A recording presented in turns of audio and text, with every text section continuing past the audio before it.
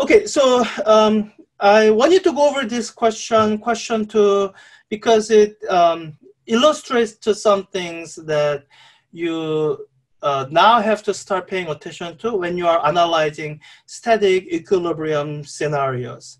Um, some of these you have done already when you looked at rigid body motion, um, rigid body motion questions and um, when you are applying Newton's law problem solving strategy to uh, extended body. You've already done some of that. And um, in the some semesters past, I used to teach it so that static equilibrium came first. I don't do that anymore, but um, that order still couldn't make sense. So in this question, I kind of wanted to demonstrate, illustrate some of the considerations that you should um, pay particular attention to as you are applying Newton's law strategy um, to the Newton's law strategy. And in case you haven't noticed it, because I guess none of it, in nowhere in the question here kind of um, explicitly mentions the force. And you know, it's asking for center of mass. It doesn't look like it's asking for force, but this is a Newton's law strategy question because the way you answer this question is by analyzing forces. So, um, so yeah, it says a small 1300 kilogram SUV has a wheel base of 3.2 meters, and you kind of have to know what that means. And what that means is here, let me just draw a regular diagram not a free body diagram, but just regular diagram. And uh, let me kind of uh, draw a um, representation of an SUV. Uh, I think I'm still gonna use a box because it doesn't need to be any more sophisticated than a box. It has wheels. And I believe the phrase wheelbase, I'm guessing, but it refers to the distance between the wheels. So you can almost look at it as giving you, okay, here's uh, the front part. Oops, I probably should write that. Front part of SUV, and this is the part that's in contact with the ground, and this is the part that's in contact with the ground. So the wheelbase, uh, let me label this as L, gives you the distance between those two. So, um, okay. Uh, so wheelbase of some length, and it says if 64% of its weight rests on the front wheels, how far behind the front wheel is the wagon's center of mass? And I was saying that um, even though nowhere here says forces, and I guess uh, weight is a kind of force, but beyond that, there's no reference to force. This is a Newton's law strategy question because the way you solve it is by applying Newton's law strategy. So you go through the standard strategy that we teach. Step number one, you draw free body diagram. So let me draw free body diagram with um, necessary details. So uh, we started doing this with uh, rigid body motion, and we continue to uh, doing this with uh, static equilibrium and what we do is, is the free body diagram we draw now will have to become slightly more complicated than simple dot because uh, we could use a dot when we didn't care um, where, on which part of the object the force was on. Now we care because we now have to start calculating torque. So because we care about the location of the force, we kind of have to have a representation of the extended body so that we can draw um, forces at the location where they are being applied. So uh, looking at this um, uh, representation of SUV, I know there must be a normal force at the front part of the contact here. So let me draw normal force there. It's normal force, so it must be upward. Oh, oh, I guess I skipped my usual step. Um, I like to draw forces as they are needed. Right now, it looks like I drew this normal force when they are not needed. So let me uh, draw my, the force I would need that necessitates existence of this normal force would be gravity. Um, so there's a gravity acting on this um, this SUV that's uh, pulling it downward and normal force is opposing that, keeping it from accelerating downward. That's why it's there. So I need to draw gravity. And with the expand, extended bodies, what you have to remember is that um, you can simplify the representation of gravity by pretending that it acts only at the point of center of mass. Now, in reality, that's not the case. Gravity is actually all over throughout the entire body. Um, it might be acting a little bit more to the front, a little bit less to the back, if more of the weight is on the front. And um, it, this is a special property of center of mass that you just have to know. That with the gravity, you can uh, pretend that that gravitational force over the extended body is acting at the center of mass. And the results you obtain with that assumption will be correct. It's not approximately correct, it's exactly correct. That's a property of center of mass in the context of uh, gravity. So I have a gravity of m gravitational force. Uh, I could write it mg, but it looks like it doesn't. Let me just write w. Oh, weight. So there's a weight acting at the center of mass that's pulling it down. That's why the normal force at the front is necessary. And I think once you draw this far and um, you remember the static equilibrium condition that in with the static equilibrium condition, net force is equal to zero, net torque is equal to zero. With these two conditions, you need a, a third force because uh, with what you see in this diagram here, there's no way to make the net force, sorry, net torque equal to zero.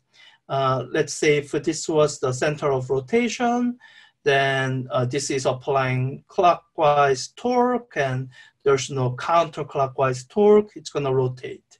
So you need another force that can allow your net torque to come to zero and that'll be the normal force at this uh, uh, rear point of contact. So there will be a normal force at the rear that's needed.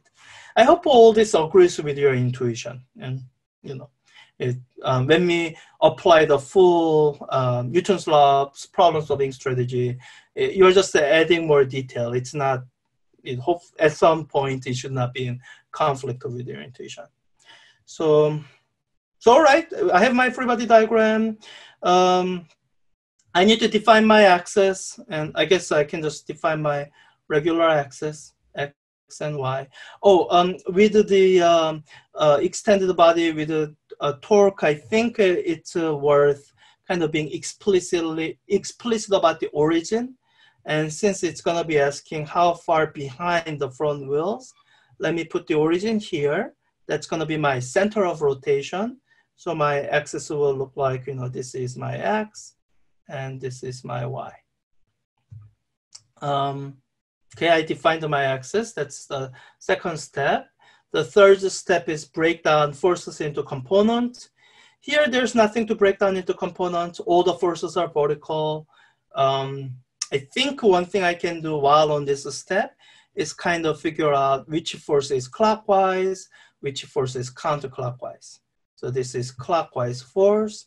This is counterclockwise force. Um, and while I'm doing that, I should give um, kind of a sign to clockwise and counterclockwise torque.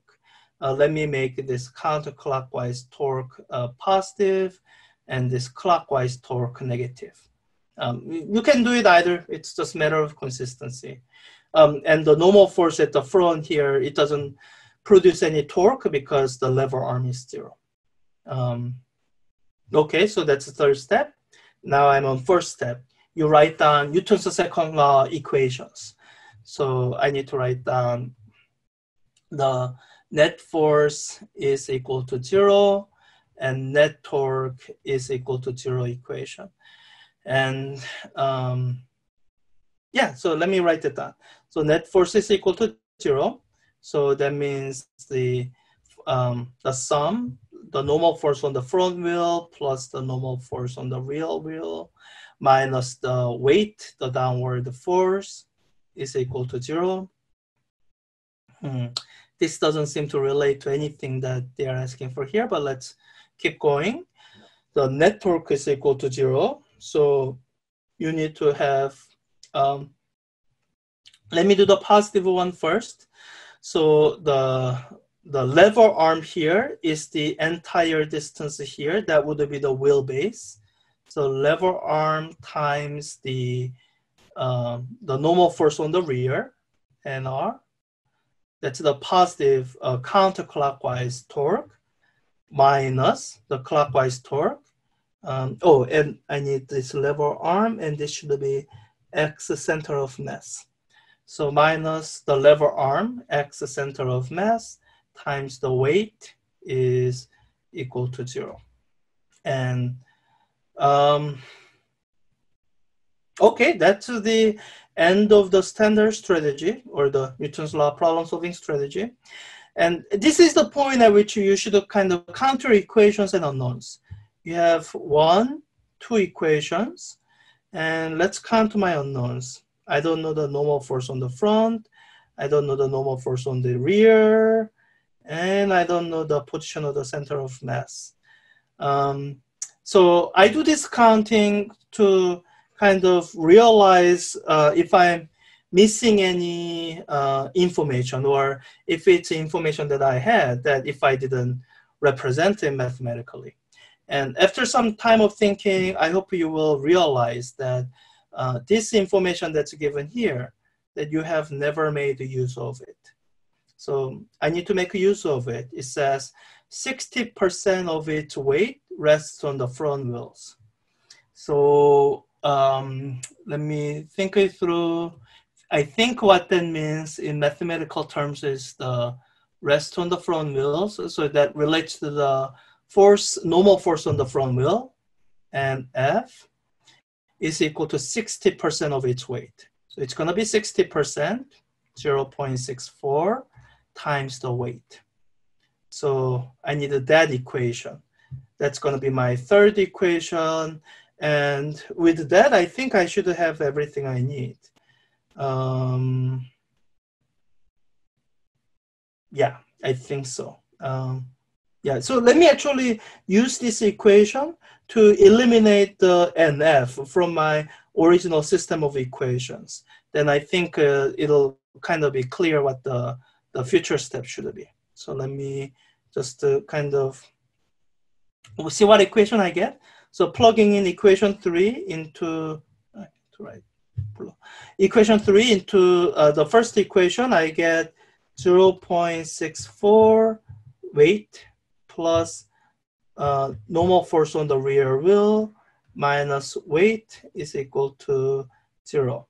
And I can simplify that, but I'll do that in a little bit. So looking at these two equations, I have two unknowns the um, I have the, the normal force on the rear that I don't know, and I have the, the x of the center of the mass. And the position of the center of mass is what I want in the end. That's the value that they're asking for.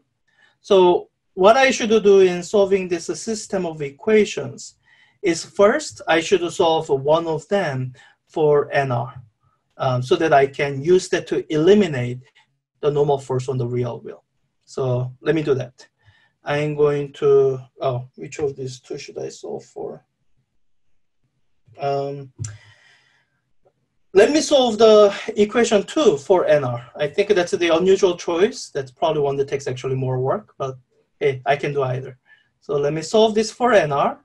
Then when I, what I get is normal force on the rear wheels is equal to um, having moved the second term over x center of mass times the weight divided by the wheelbase is equal to nr. I can plug that into this equation here. Then I get 0.64. Uh, uh, let me, I guess, combine those now. 0.64 minus 1 W will give me minus 0.36 W plus the, the, the norm, normal force on the real wheel. X center of mass times weight divided by the wheelbase length is equal to zero. And when you look at it, I hope you see that, oh, weight cancels out. I didn't actually need to know the weight. And I can solve for x center of mass here. And when I do, this is what I get. Uh, I get, um, so move 0.36 over, x center of mass is equal to 0.36 times the wheelbase. So, so yeah, it should be 0.36 times 3.2. Um, can I? No, I don't want to do that in my head. So let me just use calculator. Uh, so 3.2 times 0.36, 1.1152 or 1.15 meters. So 1.15 meters. All right, uh, and it's 1.15 the way we measure the center of mass, which is behind the front wheels. Let's check. Now, for a question like this, um, I think a lot of you might be able to do uh, do this kind of intuitively. Um, the way you've seen me do this question right now, it's the long way. It you know it takes longer time than it had to. The value of doing this a long way is what if you get a question that's more this is a pretty simple question. So what if you get a question that's more complicated than this? Then the problem solving approach that you have seen me use this remains a consistent approach. You can use in questions uh, of many different types and complexity. And that's why it's worth kind of becoming familiar with going through these formal steps so that uh, when you have to, you can. Even though in question like this, if you're kind of intuitively guessing, a lot of you could have gotten this question in a few minutes by just intuitive guessing.